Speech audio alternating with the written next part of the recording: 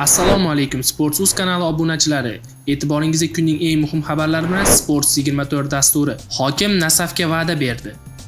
Manchesterning ikki klubi super hujumchi uchun kurashadi. Ro'ziqul Berdiyev Nasaf bilan yangi shartnoma imzolaydimi?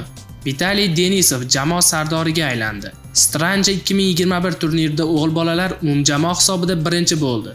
Ufa bosh murabbiyi O'runov bilan gaplashib olishim kerak. Ronaldo A Seriyaning 21-asrdagi eng yaxshi to'purarlardan biriga aylandi. Xabaringiz bor, kecha NASA futbolchilarga uzoq kutilgan medallar topshirildi. Ushbu tadbirda viloyat hokimi Zoir Mirzayev ham ishtirok etdi. Sports.uz saytiga ma'lum bo'lishicha, viloyat hokimi Nasafdagi moliyaviy qiyinchiliklarni bartaraf etishga va'da bergan. Qolaversa, fan-klubga 200 million ajratilishini aytgan. Avvalroq moliyaviy ahvolning yomonligi sababli ajdallar tarqatilib yuborilishi haqida xabarlar ham tarqalgandi. Dortmundning Borussia klubi hujumchisi Erling Haaland faoliyatini Angliya Premyer Ligasida davom ettirishi mumkin. Mirror nashrining xabariga ko'ra, norvegiyalik forvard xizmatga Manchester City va Manchester United jamoalari qiziqish bildirmoqda. Avvalroq Haalandni Chelsea ham sotib olishga tayyor ekanligi va Roman Abramovich uchun pulni ayamasligi haqida xabarlar tarqalgandi. Kecha Qarshidagi yoshlar markazida Nasaf jamoasiga o'tgan yili qo'lga kiritilgan kumush medallarning topshirish marosimi bo'lib o'tdi. Mazkur tadbirda viloyat va klub rahbarlari, jamoa a'zolari, muxlislar va boshqalar ishtirok etgan. Ammo bosh murabbiy Ro'ziqul Berdiyev Toshkentda davolanayotganligi bois marosimga yetib kela olmagandi. Ma'lumki, Ro'ziqul Sa'dullayevich bilan hali ham yangi shartnoma imzolanmagan. sportsus ma'lumotiga ko'ra, kechagi tadbir mobaynida ushbu masala ham ko'tarilgan. Jamoa rahbarlarining aytishicha, Berdiyev bilan ertaga, ya'ni dushanba kuni shartnoma imzolanishi kutilmoqda. Chindan ham ertaga shartnoma tuziladimi, yo'qmi? Voqealar rivojini bizda kuzatishda davom eting. Tomskning Tom klubi himoyachisi Vitaliy Denisov jamoa sardoriga aylandi. Bu haqda jamoaning kecha bo'lib o'tgan umumiy yig'ilishda qaror qabul qilindi. Bugun Alaniyaga qarshi kechgan uchrashuvda esa hamyurtimiz jamoasini ilk bor maydonga sardor sifatida boshlab tushdi va 3-2 hisobidagi ishonchli g'alabani qo'lga kiritdi.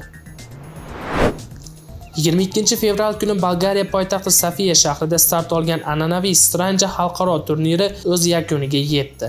Bahslarda jahonning 30 ga yaqin mamlakatidan bokschilar sovrinli o'rinlar uchun kurash olib bordi. Xabar berganimizdek, ushbu musobaqada O'zbekiston terma jamoasi vakillari ham ishtirok etdi. Bugun nihoyasiga yetgan musobaqa yakunlariga ko'ra O'zbekiston erkaklar terma jamoasi 3 ta oltin, 2 ta bronza medalni qo'lga kiritgan holda erkaklar o'rtasida umumjamoa hisobida birinchi o'rinni egalladi. Ikkinchi o'rinni mezbon Bolgariya egallagan bo'lsa, Ukraina terma jamoasi kuchli uchlikka yakun yasadi. Terma jamoamiz safida quyidagi bokschilarimiz yurtimizga medal bilan qaytadigan bo'ldi. Oltin medal 69 kg vaznda Bobo Usmon Boturov, 81 kg vaznda Dilshodbek Rozmetov, plus 91 kg vaznda Bahodir Jalolov. Bronza medallari 50 kg vaznda Shahobiddin Zoirov, 63 kg vaznda esa Asadxo'ja Mo'ydin Xo'jayev. Shuningdek, qizlarimizdan 69 kg vaznli Nabahor Hamidova bronza medaliga sazovor bo'ldi. Ufa bosh murabbiyi Rashid Rahimov Rossiya Premyer Ligasi 20-turi doirasida Ximki jamoasidan uchralgan 1-2 hisobidagi mag'lubiyatdan so'ng hamyurtimiz Oston Urunovning o'yini haqida fikr bildirdi. Oston individual jihatdan kuchli futbolchi. U hali bizning o'yin uslubimizni tushunmayapti. urunov bugun jamoa uchun emas, o'zi uchun harakat qildi va bu mutlaqo normal holat. U bilan gaplashib olishimiz zarur. Agar u 90 daqiqa davomida o'z vazifasini yaxshi bajarsa, maydonga tushadi, dedi Rahimov.